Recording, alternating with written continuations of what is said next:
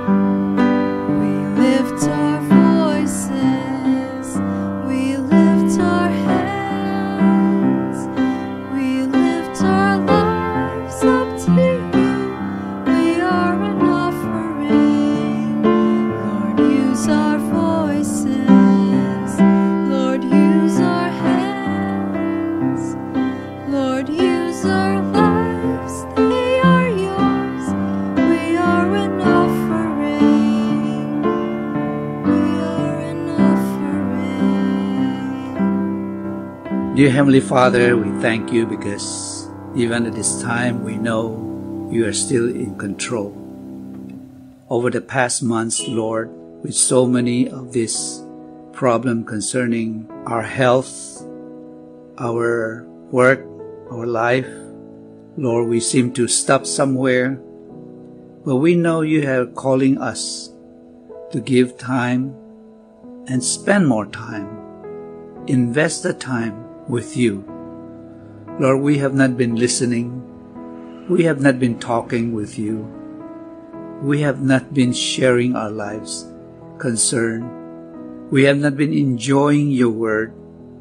But we pray that the time that we have now is to be quiet. And thank you for your word, the Bible, that has so clearly teaching us what you want us to be, how you want us to live.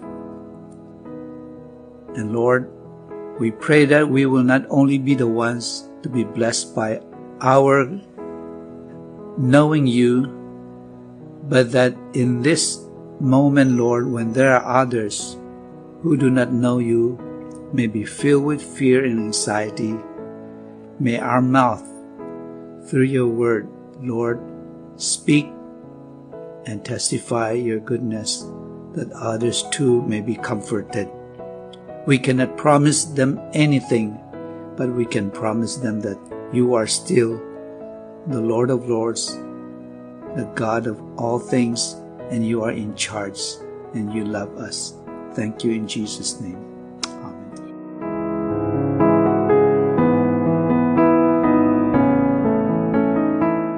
Our scripture reading for today can be found in Romans chapter 9 verse 30 to Romans chapter 10 verse 13. What shall we say then? That Gentiles who do not pursue righteousness have attained it? That is a righteousness that is by faith. But that Israel pursue a law that will lead to righteousness did not succeed in reaching that law. Why? Because they did not pursue it by faith, but as if it were based on works, they have stumbled over the stumbling stone.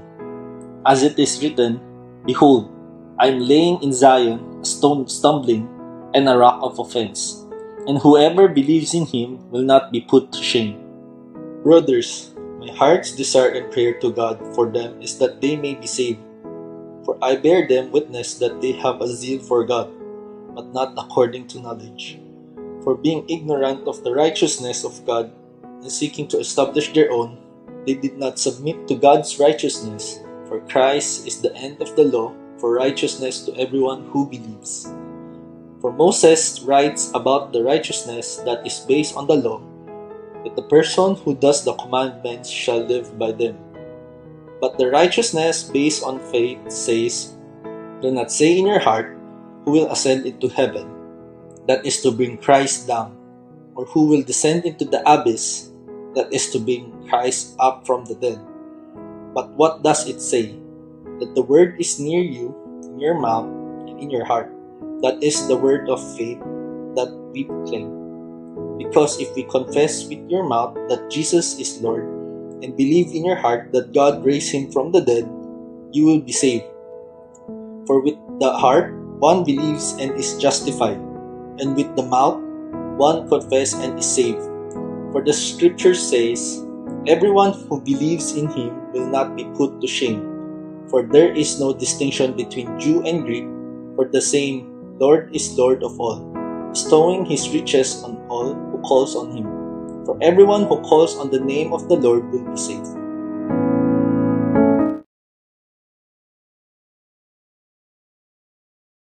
Shalom, brothers and sisters in Christ. Shall we all bow down in a word of prayer? Gracious Heavenly Father, as we come before you today, we praise you for your goodness, for your graciousness, for your mercies. Lord, your servant is an unworthy sinner. He is a worthless worm, and yet by your pure grace and mercy, you have chosen him to deliver your word. We ask that you anoint his lips that he may declare your word faithfully to your people. We ask that you prepare the hearts of the people that they may receive your word with gladness. All this pray in Jesus' most holy name. Amen. Uh, before our message proper, I would like us to watch this short video for our introduction.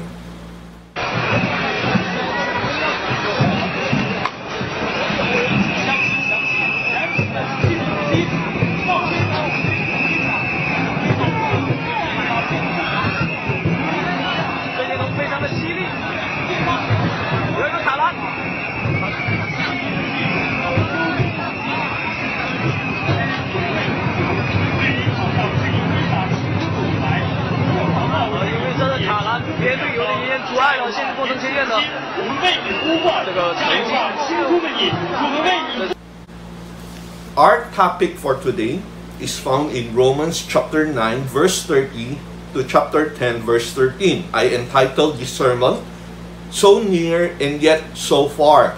Like the athlete a while ago in the video, he was so near victory. He was so near the finish line. He was one of the first to reach the finish line, and yet we all know that he is disqualified. Why? Because he did not compete according to the rules. He created his own rules and he did not jump over the hurdles. He ran through the hurdles. And therefore, that disqualified him. So near and yet so far. For the background of today's text, Paul in chapter 9, the earlier verses, reveals that not all bloodlines of Abraham, not everyone who has the blood of Abraham in him will be saved. And he also shockingly and scandalously revealed that some Gentiles will be saved. He also expounded on how God's mercy works. Mainly, that God will have mercy on whom He chooses to have mercy. Not based on who they are, not on their status, credentials, or what they have done, but it is only based according to His pure mercy. Our summary for today's message is that God has established a righteousness, a way of attaining righteousness according to faith in Jesus Christ. But the Jews rejected this righteousness and instead they establish their own righteousness, that is, to obey the law. They would like to attain righteousness by obedience to the law. On the other hand, the Gentiles who accepted the established rule of God concerning righteousness simply believe in what God wanted. That is, for everyone to believe, to call on Jesus Christ as their Lord. And because of that, they are saved. Now, first, we have to understand God's righteousness. When God created Adam, he was perfect in every way. And because of that, he has a perfect relationship with God. All he needed to do was simply to remain in that relationship by obedience, complete obedience to God, and therefore maintain his perfection. But we all know that Adam sinned, and because of that, his relationship with God was broken, and their fellowship was broken. And therefore, Adam, representing mankind, needed to pay the penalty of their own sins. But because God wanted to restore that relationship with man, He established another way to attain righteousness. But He needed to deal with His justice. His justice demand that man should pay the penalty of his own sin. Paul in chapter 9 verse 30 says, What then shall we say? That the Gentiles who did not pursue righteousness have obtained it? A righteousness that is by faith, but Israel who pursued a law of righteousness has not attained it? Paul begins his argument by stating that God established a righteousness, a way to restore his relationship with man. And that is by faith in Christ Jesus. This is God's only way of righteousness. But Paul states here that Israel rejected God's way of righteousness, God's established rule of righteousness. Instead, they sought to establish their own righteousness by pursuing the law. Now, we have a problem here because isn't it that God Himself is the one who gave the law to the Israelites so that they may obey Him? Now, what is the purpose of the law? The law is not a means of gaining righteousness. The design of the law is not for them to obey so that they can gain righteousness, not for gaining justification, but it is to reveal the character and the standard of God. And also to regulate the moral, religious, and civil life of Israel as they live in the land God has promised them. As Romans chapter 7 verse 13 tells us, Did that which is good then became the death of me? By no means. But in order that sin might be recognized as sin, it produced death in me through what was good, so that through the commandment, sin might become utterly sinful. Romans chapter 5 verse 20 the law was added so that the trespass might increase. But where sin increased, grace increased all the more. Galatians chapter 3 verse 21 Is the law therefore opposed to the promises of God? Absolutely not. For if a law had been given that could impart life, then righteousness would certainly have come by the law.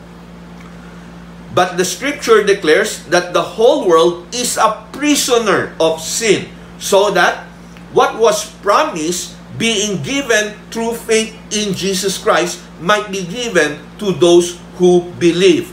So the law was put in charge to lead us to Christ that we may be justified by faith. Again, the law was given by God to the Israelites not as a means of attaining righteousness, but God wanted to use the law to show to the Israelites and to mankind how sinful we are, how utterly sinful we are, so that we would look up to Christ Jesus, His established righteousness for us, so that by believing in Jesus Christ, we may attain this righteousness. Now, we have to understand a certain theology called imputed righteousness. What is imputed righteousness? Well, when Adam sinned, his sin was passed on to us. All his descendants carried his sin.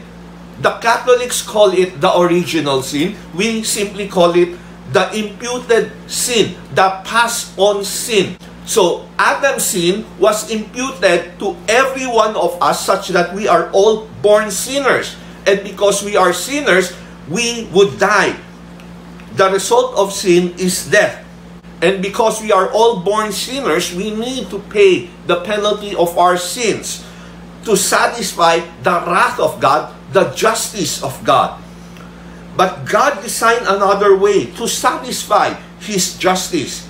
And it is to send His Son, Jesus Christ, the perfect God man, to die and pay the penalty of our sins. Jesus Christ, when He died on the cross, took all our sins and paid that penalty. And on the cross, Jesus declared, It is finished, tetelestai, meaning it is fully paid. He is able to pay for all our sins. And because of that, satisfy the justice of God.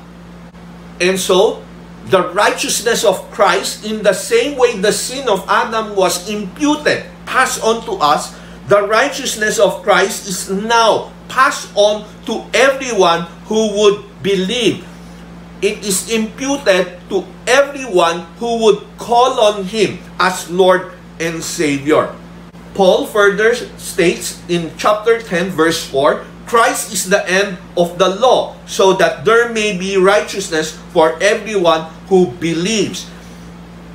The word end here is in Greek telos, meaning termination, the end of the matter, and also the end to purpose or fulfillment, meaning to that end. John MacArthur states it this way it ends the sinner's futile quest for righteousness through his imperfect attempts to save himself by efforts to obey the law. So again, God has established a way of righteousness that can only be found by having faith in His Son, Christ Jesus, who died for all our sins. So the problem right now that Paul argues is that Israel rejected this righteousness, established righteousness of God. They did not submit to God's righteousness according to chapter 10 verse 3. They rejected the only solution God has established. The only way His justice will be satisfied. The only way we can be justified. Christ Jesus paying the penalty for our sins, satisfying the wrath of God. Not only did they reject God's established righteousness, they sought to establish their own righteousness according to verse 3. since they did not know the righteousness that comes from God and sought to establish their own, they did not submit to God's righteousness. They invented and insisted on their own solution to their sin problem. In Chinese, we call this ke gao ko ko tui tao ka. They pursued the law for righteousness. Chapter 9 verse 31, But Israel who pursued a law of righteousness, has not attained it. Meaning, they work for their own salvation. They strive to obey the law, the commandments, to gain a righteous standing before God. The, but the problem, as Paul argued earlier in chapter 3, verse 23, for all have sinned and fallen short of the glory of God. Furthermore, James chapter 2 verse 10 tells us, If I obey the whole law and yet I stumble in one point, I am guilty of all of it. The idea is that if man would only have one sin, he is already considered a sinner that and he needs to pay the penalty of his own sin in hell. There are no amounts of obedience to good work or good works that would pay his sins.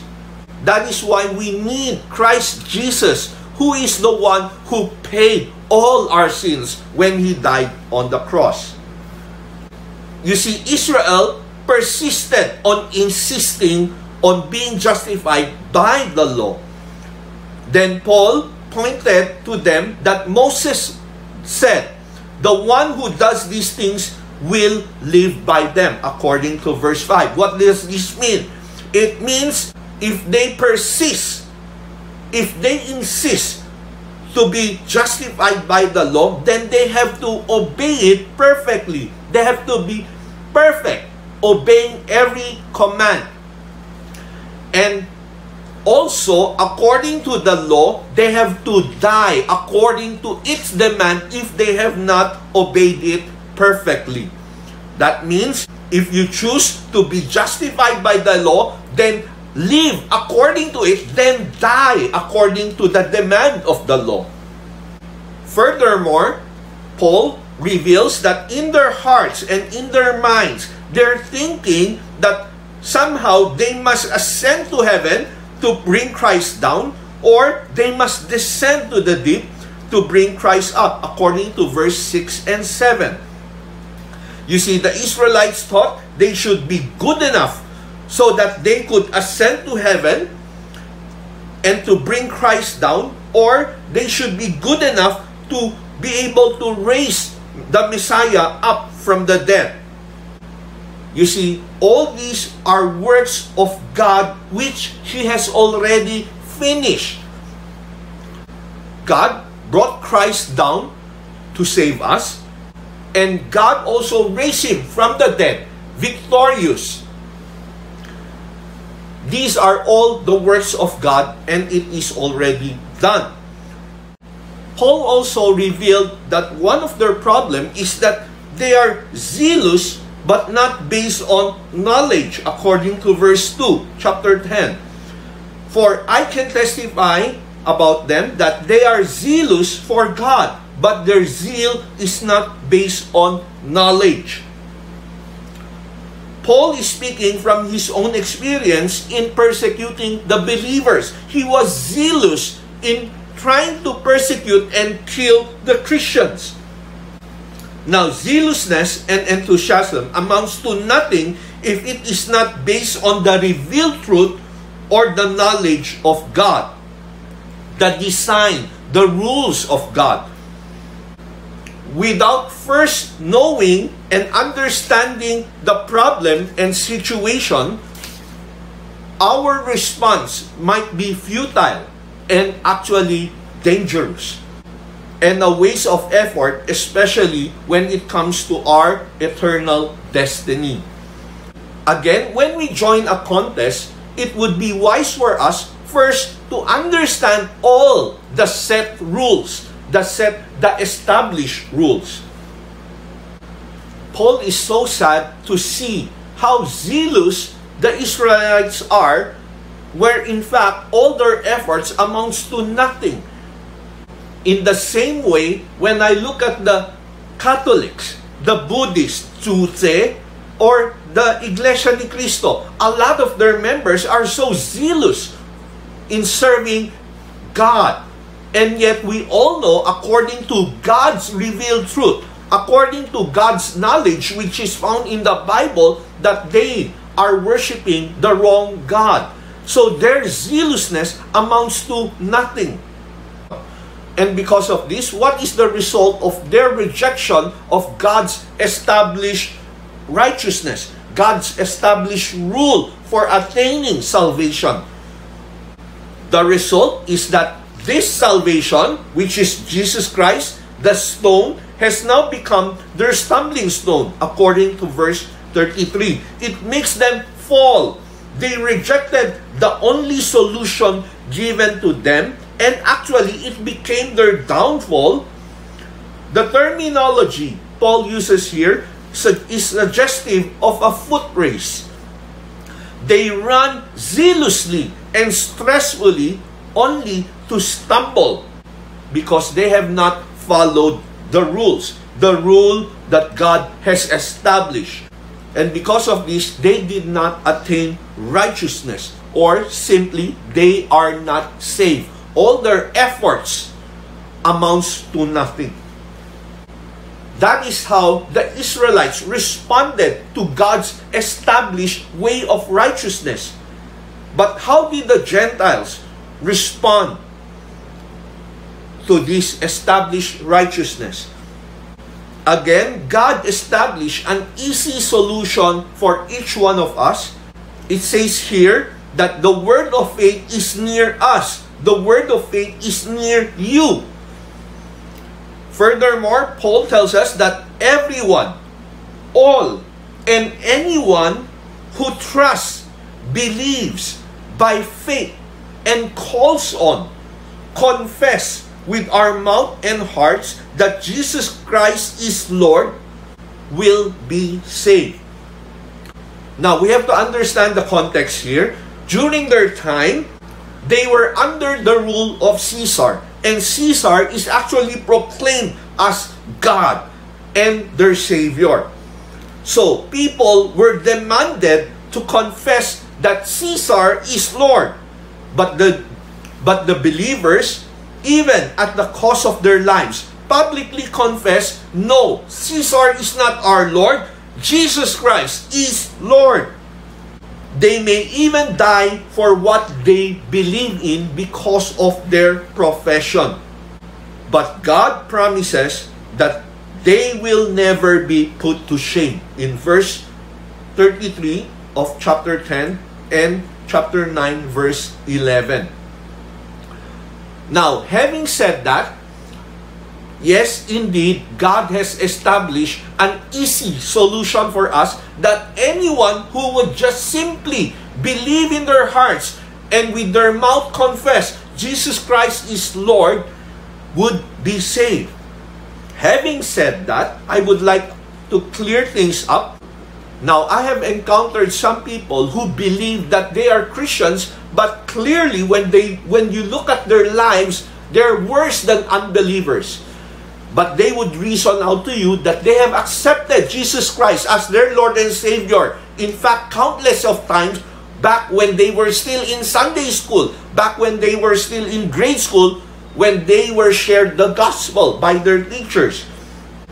Some of these people may have been influenced by a teaching by Zane Hodges in his book called Absolutely Free, where it teaches that when you simply mouth out, by simply mouthing, Jesus Christ is Lord and Savior of my life, then you are a Christian. Then you become a Christian and you are saved.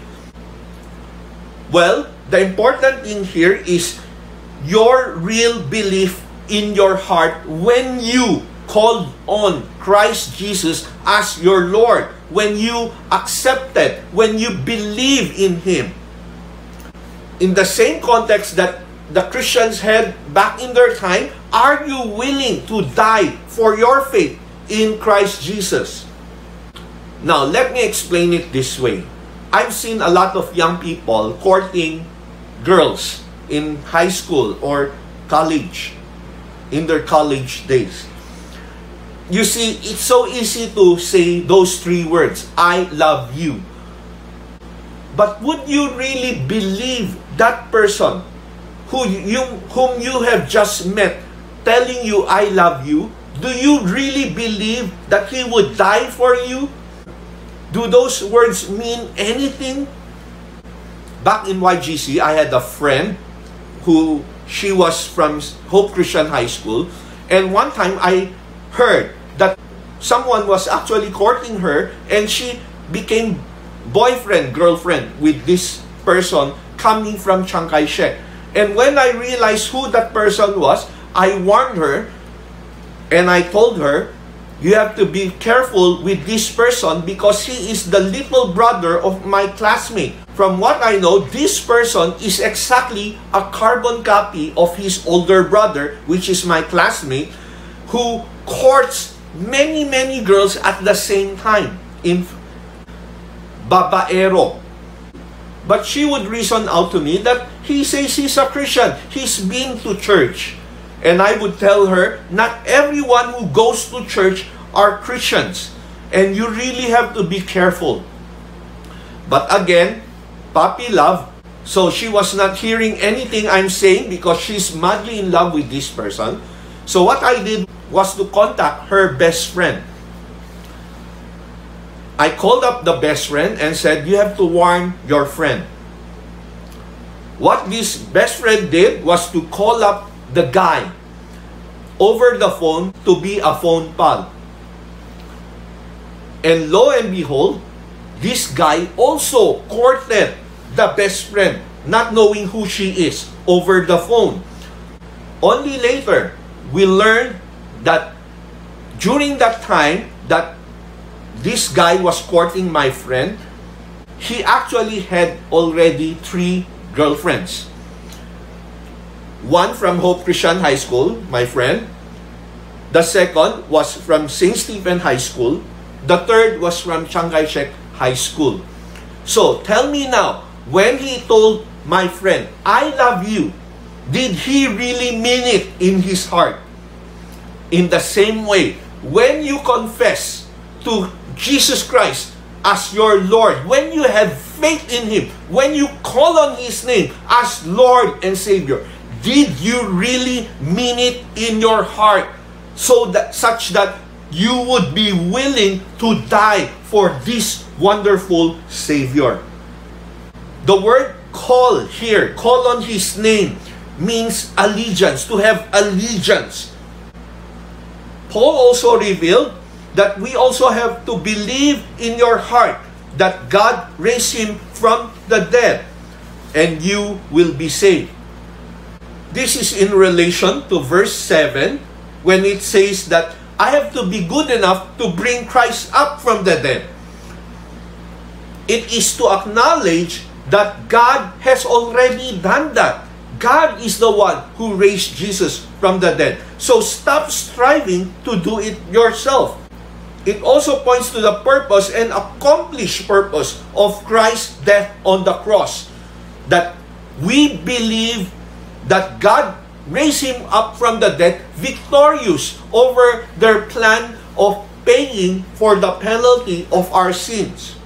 His resurrection points to his victory in attaining righteousness and salvation for us.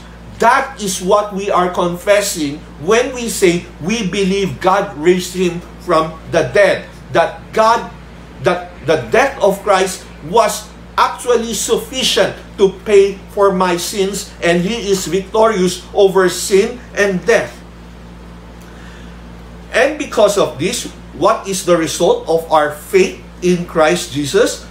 We are saved and we are justified according to verse 9, 10, and 13. And we obtain righteousness. The righteousness of Jesus Christ is now passed on to us, such that one day when you face God, we are still sinners, and yet God sees the righteousness of Christ, which is passed on to us. Also, according to verse 11 and verse 33, we will not be put to shame. And according to verse 12, we are richly blessed. My friends, what a wonderful thing it is to simply believe and have faith in Christ Jesus and therefore attaining salvation, righteousness, and all the blessings of God. So again, God has established a righteousness that can only be found by simply having faith in Christ Jesus. But the Israelites rejected this established rule of God, this righteousness from Jesus Christ. In fact, they sought to establish their own through doing good works by obedience to the law. And the Gentiles simply believe and therefore they obtain this righteousness from God which is found in Christ Jesus. How does this apply in our context? Are we like the Jews? Do we reject God's only solution or God's only way for our sin problem? Do we reject Christ, the way, the truth, and the life? That no one goes through the Father except through Him. Do we insist on inventing our own way of salvation? Maybe by going to church regularly or by donating a large sum of money to the poor. The Bible is very clear. Not by works, so let no one boast. Are we zealous without knowledge or revealed truth of God? We look at the Buddhists, we look at the Catholics, and actually some ordinary ignorant Christians who goes to church zealously and yet we see them act, acting ignorantly because they have not known the revealed truth of God, the knowledge that comes from His Word. Simply because they refuse to go deep into their knowledge of the Word of God. They refuse to attend Bible studies. What they want is simply just to attend church and to listen to sermons while texting, while surfing the net. Are we like the Jews who are zealous and yet misinformed? Well, the results may be catastrophic. We will not be saved. We will be put to shame. We will stumble. We fall. We do not have justification. We don't have righteousness from God. And because of this, Paul looks at his fellow Israelites, fellow Jews, and felt sad for them. He says in chapter 10, verse 1 my brothers, my heart's desire and prayer to God for the Israelites is that they may be saved. To the point that earlier in chapter 9, he tells that how I wish that I would lose my salvation so that they may gain their salvation. As a pastor, I've seen a lot of zealous people serving God. And yet I know that their zealousness amounts to nothing. Their donations of cash actually amounts to nothing. Why? Because they are serving the wrong God. Or they are serving God in the wrong way, in the wrong rules.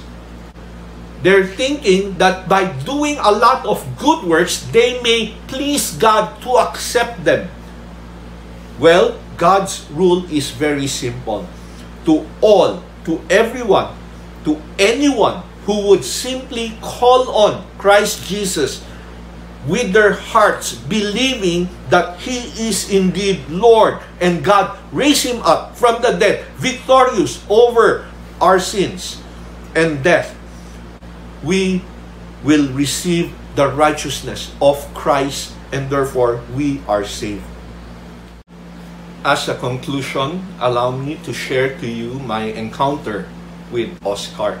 Our church member Betty requested an immediate uh, visitation to her old classmate Oscar. And so we set the date and um, on that day I picked Betty up and we drove to Cavite uh, where Oscar lived. Along the way, um, Betty uh, relayed to me the story of Oscar. Oscar was an OFW engineer working uh, in the Middle East. Uh, and he's about 60 plus years old now. And uh, he needs to come home to be treated of his cancer, which has already spread and developed into stage 4 cancer. And so she relayed to me that the doctor um, is giving Oscar about a couple of months more to live. Uh, When we arrived in Cavite, we went to the house. We saw Oscar outside his house uh, in the garden. When Oscar saw us, he said, Oi, Betty! And as he came to us walking on a cane, he looks frail. He looks very weak. And Betty told him, Oscar, how are you? I brought my pastor. And suddenly you would see the face of Oscar changing. He looked at Betty and said, Pastor? Nagdala ka ng pastor? You brought a pastor here? And I said, uh, it, it's okay. We're here to pray for you. And so as we went in and sat on the sala, uh, Oscar began telling me, you know why I've been telling Betty here that she would never convert me as a Catholic. Um, and he relayed to me this story. He said, I had cancer for the last two years. And I have actually flatlined many times. And the doctor resuscitated me every time. You know what happened the last time I was resuscitated? He told me that as he was laying on his bed in the hospital and he flatlined, he said he vividly saw the doctors and the nurses frantically running around and trying to revive him. And as they were running around, he said he saw, suddenly, he saw a figure seated beside him as he laid on the bed, wearing a cloak, white cloak. And he tried to look at the face of that person. He, he said, It's a beautiful girl, but he couldn't really see the face. And as he was trying to look at the face, suddenly that girl grabbed his hand, grabbed his hand, and that is the exact moment the doctors were able to revive him. And he looked at me and said, Who do you think that person is? That girl who touched my hand and I was revived. Deep within me, of course, I knew who he was referring to. Uh, and he told me that was Mary. You see, I've been a devoted Marian follower all these years. I have been going to church every week. Every Wednesday, I would go to Baclaran Church. and I would pray to God. As he finished the story, I was worried inside. How could you go against that kind of an experience? And so I shot an arrow prayer uh, to God and said, Lord, please give me wisdom. And so I told him, um, you know what? Um, you say you believe in Mary. Well, we also, we Christians, we also believe in Mary. The Bible does mention Mary. And the Bible tells us she's a good person. She's blessed by God. In fact, she was chosen to be the mother of Jesus Christ. And he was shocked to learn from the mouth of a pastor saying that Christians believe in Mary. And I said, that's what the Bible said. And so I was able to develop a rapport, a common ground with him. And so I asked him, Do you believe that it is right to worship Mary? And he said, Oh no, I don't worship Mary, and I disagree with some Catholics there who are worshiping Mary. We should never worship Mary, and we should only worship God. And I said, That's right. So we have the same thinking about Mary. But do you know that the Bible also revealed that Jesus is the only mediator between God and man? That we should not be praying to anyone else, not to the saints, not to Mary. And so I spent the next hour or so explaining in detail the gospel according to the Bible, according to God. I explained to him our depravity as sinners and we can do nothing to save ourselves. And so I explained to him that we need Jesus Christ, God's only established way of righteousness. After an hour or two, we prayed for Oscar, hoping that he understood and accept Jesus Christ as his Lord and Savior. After praying for him, we left. And after a week or two, we received a call from the United States from the sister of Oscar, who is a Christian. And she was so happy to hear that a pastor finally came to visit Oscar and to pray for him and to share the gospel to him. You see, this sister has been praying for years that Oscar would hear the gospel and accept Jesus Christ as his Lord and Savior. After about two months, Oscar indeed passed away. My friends, I don't know if Oscar has indeed understood the gospel. I did my best presenting everything to him, but I don't know if he really got to accept Jesus Christ as his Lord and Savior while he was still alive. Now, it would break my heart. It would really make me very sad to one day find out if I go to heaven and I don't find Oscar there. My friends, he has been so zealous serving God. I believe he has done so much in the name of his God. And yet, if it is not done according to the established rule of God, it's all for nothing. Our zealousness amounts to nothing. So near and yet so far. Let's pray. Most gracious Heavenly Father, we give thee thanks for your graciousness and your mercy that you have revealed to us in your word. That though we are sinners, you have not left us to face your wrath. Instead, you have established another way of righteousness, which is only now found in your Son, Christ Jesus, dying for our sins, paying the penalty of our sins, therefore justifying your demand for justice. And so we give thee thanks for a very simple act of believing in our hearts that Jesus Christ indeed died for our sins and resurrected as a sign of victory over death by believing in your Son, Jesus Christ, as our Lord, as the Lord of our lives. We attain righteousness from God.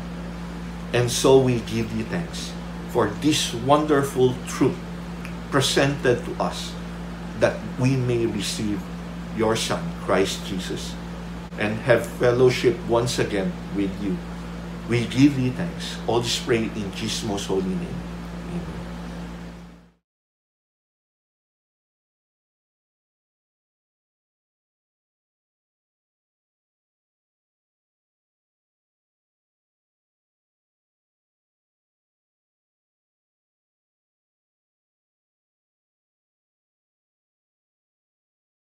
Mapagpalang araw po sa bawat isa. Ako po si Pastor Eduardo Misa, ah, may asawa at may tatlong anak. Isang MUG worker na sinuportahan ng United Evangelical Church of Green Hills mula pa noong 2013 hanggang sa kasulukuyan. Taong 1996 nang makilala ko ang Panginoon at pinagkalooban niya ako ng pagkakataon na makasali sa mission work noong ang aming church ay mayroong church planting partnership taong 1999. But after two years, hindi po kami pinagkalooban ng Panginoon ng established church sa partnership na yon. Kung kaya't ako'y nagpasya na ipagpatuloy ang naiwang gawain habang ako'y namamasukan upang mapunan ang pangailangan ng aking pamilya. Pagkatapos ng limang taon, ay dumanas po ako ng pagsubok sa aking paglilingkod sa Panginoon nang magsakit ang aking may bahay ng malubhang karamdaman at nagsasara ang kumpanya na aking pinapasukan at ang aking bahay, ang aming tirahan ay nakatakdang idimulis sa panahong iyon. Kung kaya't marubdob akong nanalangin dumulog sa Panginoon hanggang sa hindi ko makayanan ang bigat ng pagsubok sa panahong yon at kami nagpasya na ipa-affiliate ang gawain sa Payatas Dam site doon sa isang church na nagangalang Jesus Christ, the Way of Life sa pumuno ni Pastor Minsurado. Taong 2011 ay sobrang lungkot ang aming naramdaman sapagat hindi kami nasanay na hindi gumagawa. Naging, naging bahagi na naming buhay ang pumunta sa mga mahirap na komunidad upang ibahagi ang salita ng Panginoon. At ito po ay napakalaking ah, kalungkutan sa aming buhay sa panahong yon. Kung kaya't kami nanalangin sa Panginoon at humingi kami ng isa pang pagkakataon kung kaluban ng Panginoon na kami ay makapagsimula muli ng maliit na gawain. Isang araw ay may bumisita sa akin ng MUG staff at inayahan akong i-observe ang kanilang ah, ministry, ang House Church Movement Ministry. At sa biyaya ng Panginoon, nakapagpasya kami na, na magsimulang muli sapagkat pinapalakas nila kami upang ah, magsimula ng gawain para sa Panginoon. At yun pong panahon yon doon ko po na meet ang United Evangelical Church na siyang sumuporta sa amin sa aming pagsisimula. Kaya salamat sa Panginoon, pinagaling niya ang aking asawa at niloob niya na makalipat kami dito sa Teresa Rizal upang dito kami magsimula ng gawain ng Panginoon. Salamat sa mabungang gawain sapagkat siya at naniniwala kami na siya ang nagkakaloob sa amin ng mga katuwang upang may sagawa ang kanyang kalooban sa lugar na ito. Ang panalangin ko, patuloy niya kayong pagpalain at madatnan niya tayong ah, gumagawa sa kanyang ubasan sa kanyang muling pagbabalik. Sa kanya lamang ang mataas na papuri at pasalamat at pagpapalain po tayong lahat. and now receive God's blessing. May the love of God the Father, which He demonstrated by sending His Son, Christ Jesus, to die for our sins while we were yet sinners, and the glorious riches found in Christ Jesus to all who would believe, and the fellowship of the Holy Spirit, which brings peace beyond all understanding, be unto you until the day of His coming. And all God's people say, Amen.